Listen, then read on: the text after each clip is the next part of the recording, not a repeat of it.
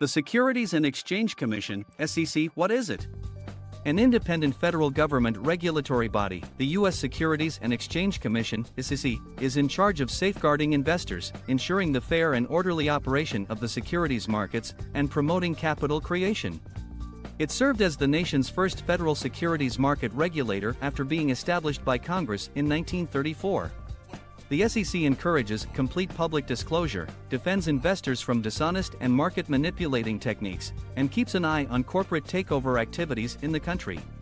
Also, it permits bookrunner registration declarations among underwriting companies.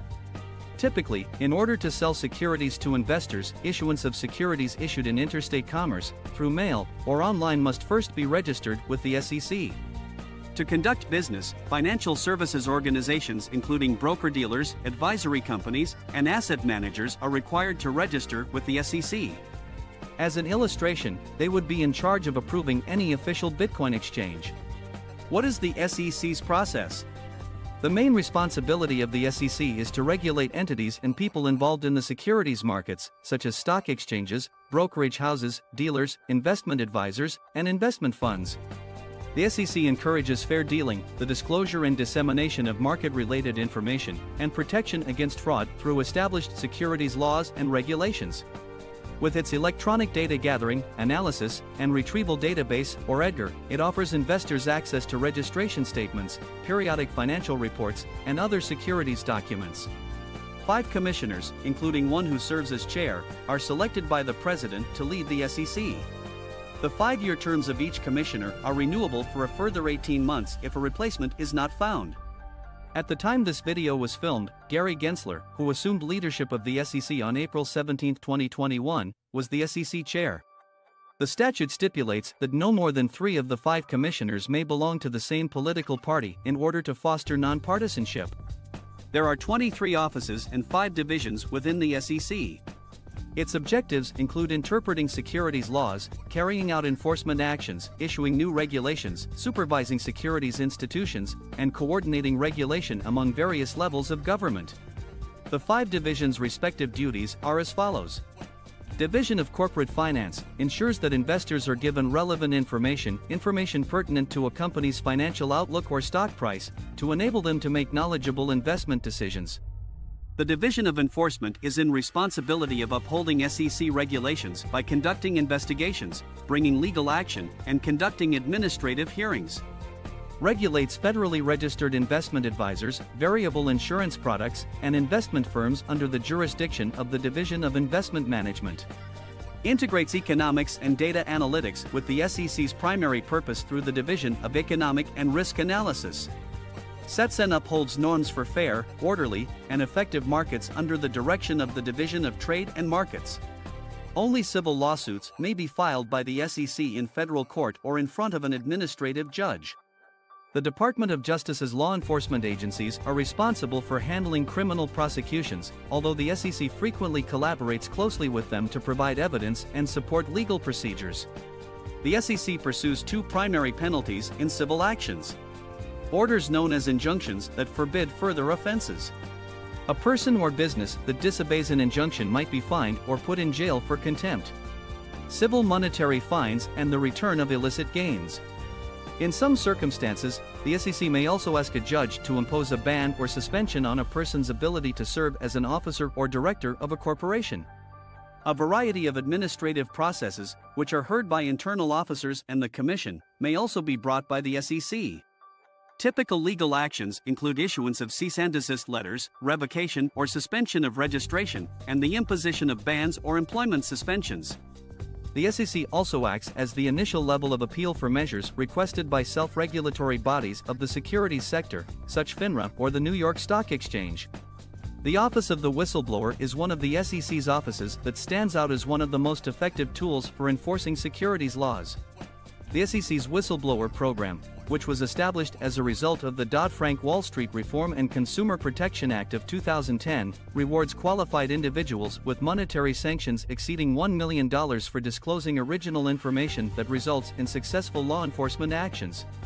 10% to 30% of the total money collected through the sanctions might go to the people.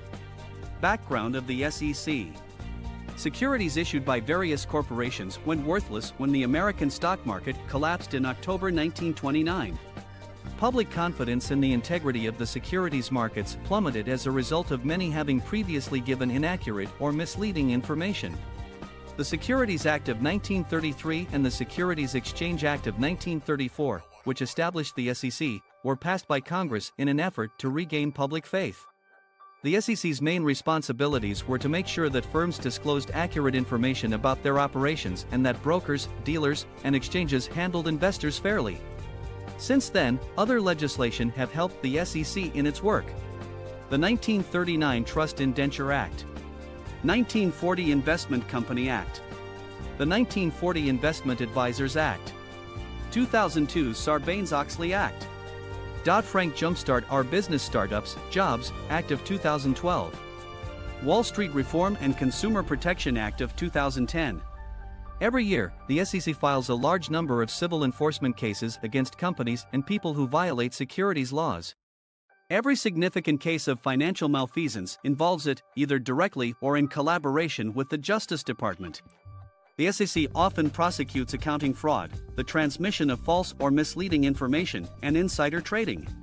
During the Great Recession of 2008, the SEC played a key role in bringing legal action against the financial firms responsible for the catastrophe and giving investors billions of dollars back.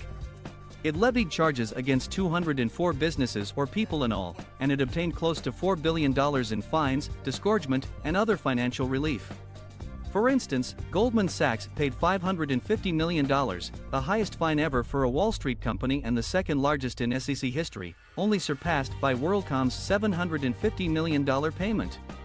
Yet, despite the fact that virtually all of the brokers and top management engaged in the crisis were never found guilty of serious crime, many commentators have blamed the SEC for not doing enough to assist in prosecuting them. No one Wall Street executive has been imprisoned thus far for crisis related crimes. The remainder either consented to financial penalties or administrative sanctions. How does the SEC develop new regulations? A concept release precedes a proposal for creating a new SEC regulation. A concept release and ensuing proposal are both made available for public evaluation and feedback.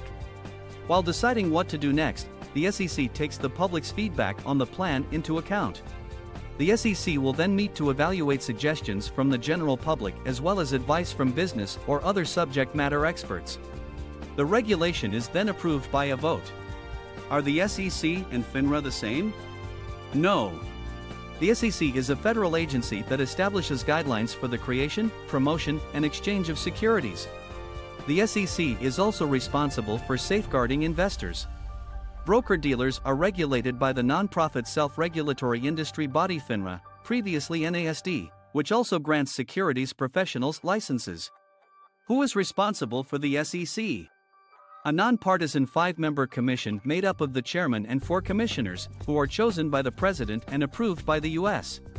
Senate leads the SEC, an independent federal agency as it is governed by federal statutes such as the Securities Act of 1933, Securities Exchange Act of 1934, Investment Company Act of 1940, Investment Advisors Act of 1940, and the Sarbanes-Oxley Act of 2002, Sarbanes-Oxley Act, among others, the SEC is answerable to Congress.